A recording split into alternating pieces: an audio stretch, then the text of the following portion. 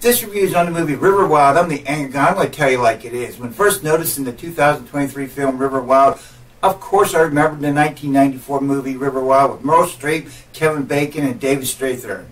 To me, Kevin's character was more a methodically evil person. In this movie, the asshole was a narcissist, psychopath, killer. Hey, let's have some fun to see if the 2023 movie River Wild is an indie film or not. See the backpack over there? With indie film written on the front? I'll fade some boards down in with the words usually associated with indie films, and if all the boards are go into the pack, ta-da! The 2023 film River Wild is an independent movie. Okay, let's start with low budget. Shooting shooting the raft with people going down the rapids had to be long and tiring effort, especially just to get the right shot. I was surprised to find out the film takes place in the Idaho woods just outside Boise, but the 2023 film The River Wild was actually filmed in Eastern Europe. Wow. Few cast members. For the subject of few cast members, that is a definite yes.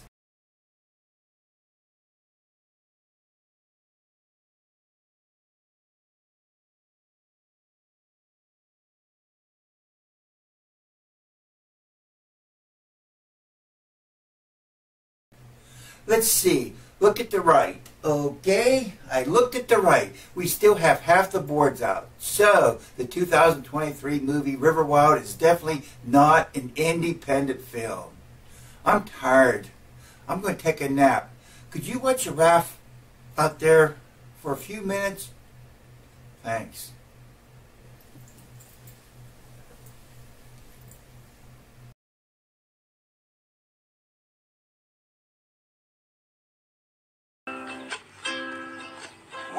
I get older, losing my head. Many years from I stay out to quarter of three. Would you lock the door?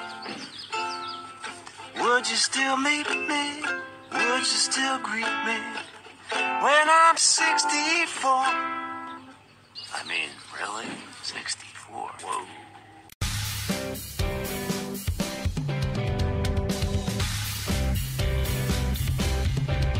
The director for the 2023 film River Wild was Ben Ketai, who's also a writer and producer and is known for the films Chosen, Beneath, and The Strangers, Prey at Night. In the 2023 movie River Wild, a rafting trip turns deadly when one of the five rafters is a psycho while the others, not knowing their lives, are in danger. Plus, they have to deal with the raging rapids and the possibility of being stranded on the land without ever getting back. Ooh. Joey is a stressed out doctor with a haunting history. During her younger years, she would help her brother, Gray, with his rafting business. She doesn't totally trust her brother because when she was a teenager, he didn't keep his jailbird friend, Trevor, off of her. Still, to this day, Gray will take Trevor's advice over hers. Gray is Joey's brother who's also had a dark past. He was a drunk and a drug user in his early days. Now he runs and owns a whitewater rafting business while being completely sober. He still has a weakness for his jailbird friend Trevor. With Trevor's personality, he gives off weird vibes. To me, he's too energetic, too needy, and his temperament leans towards unbalance. Like they say, once a con, always a con. Carissa is a pretty woman with delicate features and characteristics, but her eyes tell me she has an inner strength from the past she has totally left behind, and now she's always in the present. To me, she looks like a good friend to have because if she trusts you, she will be loyal to you. Screw her over three times, and then she'll never speak to you again. To me, Van is looking for a female relationship, and her eyes tells me she will kill anyone that will get between her and her lover. At times she looks fun loving but has a quick temper. It's the Irish inside her to maintain her independence until she finds the one that to complete her. Out of an alphabetic score, I give the 2023 film River Wild a C plus. Would I recommend watching this film? Only if you can't find anything else to keep you busy. Finally, my personal embarrassing story. Years ago, as a family, we went to Ohiopyle, Whitewater Adventures Rafting. At the start of the group, we were listening to the instructions on how to stay afloat, and there was a single mother and her daughter looking for a raft to join. Right before we asked her, she joined another group sitting beside her. Thank God.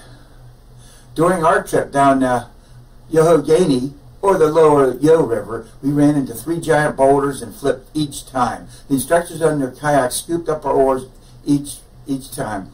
One time I rode the back of an employee's kayak to land where our raft was resting with my better half sitting inside. My better half fell out of the raft only once. My son, daughter, and myself fell out three times. During the trip down the river, my better half asked me, Did I have the keys to the car? Being totally exhausted, hungry, and wanted to go home to a safe, dry area, I said anxiously, Yes! They're inside my sock. Why? She abruptly said, I think your keys are swishing back and forth on the bottom of the raft. Guess what? She, they were there. She was right. All of us thought the other rafters didn't see us or didn't care when we fell in the water. But after getting off the bus from where we landed to where we started, we quickly found out all the other rafters knew that we fell into the river several times because all along the trip, employees were filming with VHS video cameras along the river, taking movies of everyone. Oh my goodness, what are we going to do? Of course, as we sat in the pavilion with the other rafters watching the video, the employees put together a quarter of the way through watching the video tape, everyone started to call us the swim team. I will never, ever go white water rafting again. If you stayed through this long review and comments, thank you so much. Hopefully it brought you a smile at least, or maybe half a smile. Thank you again.